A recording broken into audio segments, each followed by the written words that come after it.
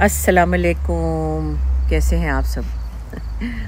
बस काफ़ी एक्टिविटीज़ हो गई बच्चों के साथ, मैंने आपके साथ बहुत कुछ शेयर कर लिया।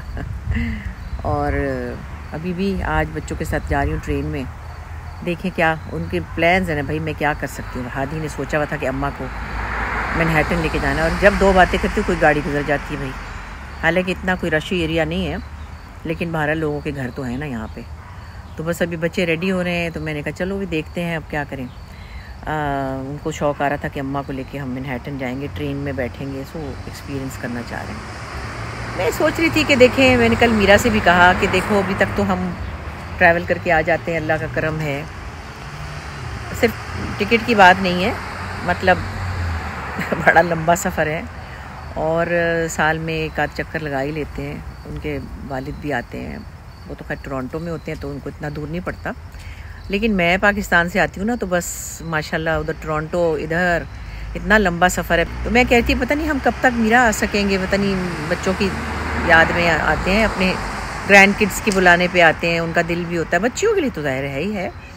लेकिन वो फिर जब छोटे बच्चे बुलाते हैं तो फिर आप के पास कोई बहाना नहीं होता। अभी भी उनको शिकवा है कि मैं छुट्टियों में क्यों नहीं आई, क्योंकि उनके स्कूल डेज़ में वो इतने मुरझाए हुए होते हैं। आते हैं तो बिल्कुल आधे फ्यूज़ होते हैं, फिर थोड़ा सा वो जो भी उनको मैंने खिलाना होता है, पराठा वराठा, हलवा, शलवा, फिर बनाया मैंने आज। लेकिन अब यही है कि ज़िंदगी का सफ़र ऐसे ही है, जब तक हिम्मत है ट्रैवल कर लेंगे, और जब तक अल्लाह को मंजूर है ट्रैवल कर लेंगे। पता नहीं फिर क्या होगा। ये अजीब सी दूरियाँ हैं जो आप डिस्क्राइब नहीं कर सकते, ये भी नहीं कह सकते कि बच्चे वापस आ जाएँ बच्चों की लाइफ का एक पैटर्न सेट हो गया है। हालाँकि मैं आपको सच बताऊँ, मेरी बेटियाँ बड़ी पाकिस्तानी लड़कियाँ हैं, बहुत ज़्यादा, दोनों। छोटी का कभी इरादा था कि वो लंदन में जाके कभी आगे चल के रहेगी, जब हादी बड़ा हो जाएगा, पढ़ने जाएगा तो शायद उसको लंदन बहुत पसंद है। लेकिन बड़ी का कोई ऐसा क्रेज़ नहीं था कि वो बाहर जाके रहे। वो बड़ी मतलब पाकिस्तानी लड़कियाँ बेसिकली अभी भी ये कहती कि कराची की लाइफ मिस कर रही हूँ, इसके फ्रेंड्स हैं वहाँ पे। ज़ाहिर अपना एक, उसकी ज़िंदगी का पैटर्न था। पैटर्न बदल गया है। माशाल्लाह यहाँ भी कोई चीज़ की मसला नहीं है, लेकिन बहरल वो जो आराम थे वहाँ खनसामा था, ड्राइवर था, सब कुछ पैम्परिंग थी और फिर मैं भी सामने रहती थी। जब कुछ बनाना मैंने मीरा के घर भेज देना। पहले नरेमान थी तो वो हर काम मेरे से पूछ के कर, अम्मा ये वाली मेड आई है, आप बताएँ, इसको रखना है, नहीं रखना है, इसका इंटरव्यू कर लें। तो वो एक हमारा तीनों का, समझे कनेक्शन रहता था हर वक्त। बस फिर जैसे अल्लाह को मंजूर, यहाँ इनको आना पड़ा, उनको टोरंटो जाना पड़ा। और फिर अब इनके बच्चे बड़े हो गए कोई कहता भी है मतलब मुझे कि भाई अब बच्चा बड़ा हो गया उसको कॉलेज में छोड़ के नरेमान को चाहिए वापस आ जाए। क्योंकि नरेमान को मीडिया में बहुत काम करना था। तो वो उसके फ्रेंड्स भी बहुत वहाँ पे कामयाब हैं। काफ़ी सारे उसके दोस्त हैं जो मीडिया में हैं और डायरेक्टर बन गए हैं और आ, मतलब काफ़ी उसके फ्रेंड्स हाई पोस्ट पे हैं। तो मगर अब बच्चे जो हैं ना उनको उनके मतलब वहाँ से पाकिस्तान से लोग पढ़ने के लिए भेज रहे हैं। तो ये वापस कैसे जाएँ? और बच्चों को छोड़ के जाना ज़रा हिम्मत का काम है। अभी बच्ची बारह साल की है उसका इस वक्त दिल नहीं लगा कराची में। मतलब वो अजीब सी एलियन सी हो गई। क्योंकि वो और टाइम होता है बच्चे जब टीन में आते हैं उनका और कोई अपना लाइफ का पैटर्न होता है। अब उनकी यहाँ ज़िंदगी हो गई है। उनकी वहाँ से अटैचमेंट कम हो गई है। मैं कहती हूँ पता नहीं ये कब तक इनको हमसे अटैचमेंट रहेगी? खैर रहेगी हमारा ताल्लुक तो काफ़ी रहा है। आ, कोई इतने हम गायब ग्रैंड पेरेंट्स नहीं हैं। हम बहुत मौजूद ग्रैंड पेरेंट्स हैं। उनके नाना भी बहुत कंसर्न है, मैं भी हर वक्त कंसर्न हूँ। तो बच्चे हमें भूलते तो नहीं हैं, लेकिन बाहर उनके इंटरेस्ट बदल जाते पहले जिस तरह वो छोटे थे, जैसे पम पम छोटी थी, मेरे साथ खेलती थी, तोतली बातें करती थी, अब वो टाइम ज़रा बदल गया है। अब पम पम की इंटरेस्ट भी और हो गए तो बस यही बातें मैं सोचती रहती हूँ कि ज़िंदगी चलते चलते चलते चलते चलते कहाँ तक आ जाती है। ठीक है फिर, अल्लाह का शुक्र है, दो बच्चियाँ हैं और जिनके चार होते हैं, उनको चार जगह जाना पड़ता है। मैं ये भी कहती हूँ कि हैं, जितने बच्चे, उतने शहर और उतना, उतने उनके ग्रैंड चिल्ड्रन उनको भी अपना मज़ा आता होगा, लेकिन भाई हमारी तो हड्डियाँ रह गई हैं सफ़र कर करके तो और बच्चे होते तो और जगह जाना पड़ता कहीं। बेटे होते या और बेटियाँ होती तो सबको, सबका दिल रखना होता। सारे बच्चे जो हैं, वो चाहते हैं कि उनके ग्रैंड पेरेंट्स आए। हमारे नाना नानी आते थे तो हमें बड़ा मज़ा आता था। और बड़े प्यार वाले हमारे नाना नानी थे बहुत लविंग मेरे नाना तो ख़ास तौर पे ना उनको छोटे बच्चों की हर बात याद रहती थी कि कौन सा बच्चा क्या खाता था कैसे। मुझे कहते थे कि क्योंकि बहुत गोरे चिट्टे थे ना वो अंग्रेज़ गोरे थे सारे। तो मुझे कहते मैं थोड़ी सांवली थी उन सब में। तो मुझे कहते थे कि सुनो तुमने हम, हम हमने तुम्हें ना मछली वाले से लिया था ना। इतनी प्यारी उनकी बातें थी। कहते थे, एक मछली बेचने वाला आया था पम्फलेट बेचने वाला। उसकी टोकरी थी, उसमें मछलियों के नीचे गंदी सी बच्ची पड़ी थी। हमने कहा, हमें दे दो ना। और मेरा मुँह यूँ था ना कि, हाय अल्लाह! मतलब छोटी सी थी मैं। कहते फिर वो मछली वाले ने कहा, चलें, आप ले लें, ये बच्ची मुझे नहीं चाहिए। अब जब मैं बड़ी भी हो गई, मैं इंटरमीडिएट में आ गई थी, मैं बीए तक वो ज़िंदा थे। तो मेरे घर में आते थे तो आते जाते आवाज़ें देते थे हाँ मच्छी वाला आ गया पम्फलेट मच्छी ले लो। फिर इसी तरह मेरे कज़न की भी कुछ बातें याद की हुई थी उन्होंने और बड़ी प्यारी उनकी बातें थी। वे गाना बहुत अच्छा गाते थे हमने आवाज़ उनसे ली है। और बड़े सुरीले थे और मुश्किल मुश्किल गाने गवाते थे। चलो बेटे वो आ, क्या नाम है गुलाम अली का वो गाना याद करो मेरे शौक दनी एतबार तेनू। फिर और भी उनको जो थे अख्तरी बेगम का एक था छा रही काली का नहीं हाँ हाँ उनका ही था शायद। मुझे याद नहीं आ रहा। खुर्शीद बेगम का था। छा रही काली घटा जिया मोरा घबराए रे, फिर वो सुनते थे और ख़ुद भी गाते थे। तो नाना नानी की बात कुछ और है। वैसे दादा दादी का प्यार भी बहुत है। उसमें भी कोई ज़ाहिर है कि दादा दादी अपनी जगह, लेकिन हमारे दादा ना बड़े बोरिंग से थे, चुपचाप से थे, किताबें पढ़ते रहते थे। किसी बच्चे को ज़्यादा चिमटाया नहीं उन्होंने अपने साथ।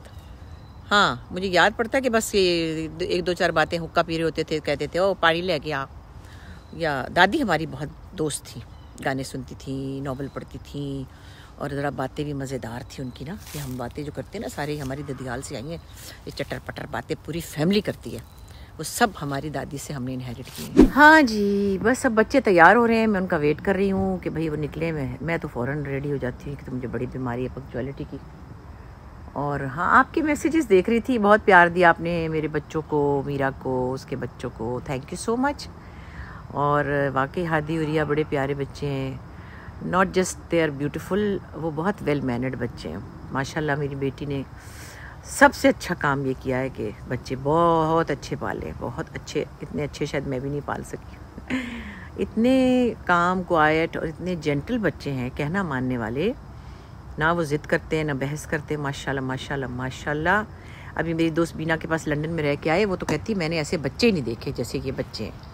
कि वो जो छोटी हैं, वो इतनी डिसिप्लिन हैं, अपनी सॉक्स भी फोल्ड करके रखती हैं, अपना नाइट सूट संभाल के रखती हैं, फिर अपने कपड़े निकाल के, अपने मैचिंग सब करके, और हादी का कमरा कल मैंने देखा वो इतना ऑर्गेनाइज था कि मैं बता नहीं सकती माशा अल्लाह उनके पता नहीं हज़ारों टॉयज़ पड़े हैं, और वो अपनी जगह पे यूँ सेट खड़े तो ये बड़ी बात है, और अब ये लोग तैयार हो गए, शायद है, आ गए? वाह कुल्फी भी आ गई है। हुरिया की पोनी तो देखे कितनी प्यारी है ना। फिर हुरिया आप कहेंगी कि मैं एंग्री लग रही थी। आपने हैंग्री नहीं लगना आपने अच्छा, वो बाहर हम कर देंगे हाँ अभी हम वहाँ पे भी करेंगे और और हादी भी तैयार हो रहे हैं। और हम तो तकरीबन तैयार ही हैं और अब हम निकलने वाले हैं फिर हम देखेंगे ट्रेन में क्या क्या मिला।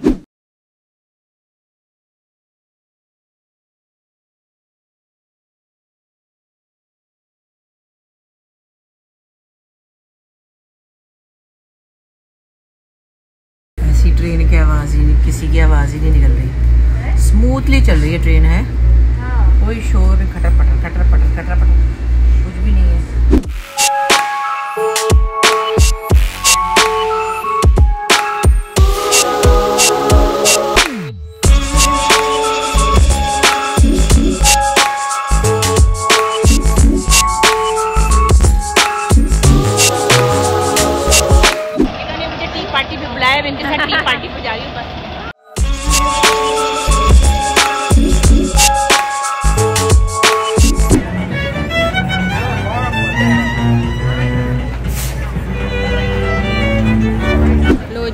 साइकिल रिक्शा और वो देखिए कितने मज़े मैं बैठी हुई इसमें बड़ा मज़ा आता है। हालाँकि ये मतलब करीब करीब जाने के लिए है।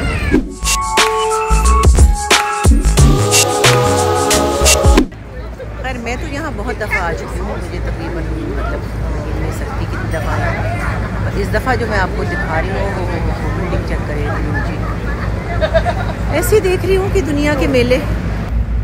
ये ज़िंदगी के मेले। ज़िंदगी के मेले, ये ज़िंदगी के मेले। दुनिया में कम न होंगे, अफसोस न होंगे। ज़िंदगी के मेले, ये ज़िंदगी के मेले। अब ये बच्चों की जिद करने पे मैं आ गई मैं अल्लाह जानता भी इतनी सैर नहीं करना चाहती। मैं अब सैर कर करके ना तंग आ चुकी थक गई हूँ, लेकिन मीरा की जिद थी। चले चले चले मैंने कहा चलो बच्चों के साथ टाइम स्पेंड हो जाएगा स्पेंड हो जाएगा और हाँ आप पूछ रहे थे कि भाई अपने दामादों से भी मिलाती भाई दामाद जो है ना, वो ज़रा शाय टाइप है। अब उनका तो काम नहीं है ना कि वो स्क्रीन पे आ जाए। मेरे बच्चों को तो मेरी कुछ आदत है। अब अगलों को बेचारों को नहीं आदत, उसने ना नहीं किया लेकिन मैंने खुद ही से उनको इस मुश्किल में डाला। मैंने कहा ये बेचारे मासूम लोग हैं, इनको काहे को मैं इसमें वीडियो में बैठा लूँ? और किसी ने ये भी पूछा था कि मियाँ कहाँ है? मियाँ टोरंटो में है। मैं इंशाल्लाह बस टोरंटो जाने वाली हूँ। उनके वहाँ पे बेटे रहते हैं, माशाल्लाह उनके पास है वो। और बच्चों के साथ टाइम स्पेंड कर रहे हैं। थोड़ा सा अपना चेक वगैरह करा रहे हैं, जो उनका पिछले दशर से पहले सर्जरी हुई थी। और कुछ लिख रहे हैं। वो तो मैं अब खाम की लंदन से होकर न्यूयॉर्क से होकर इन मैं टोरंटो चली जाऊँगी। और फिर मुलाकात हो जाएगी। और ये तबड़ा कीड़ा था मेरी। मेरे ऊपर ही आ गया था। पता नहीं मक्खा है कि मक्खी है, क्या है?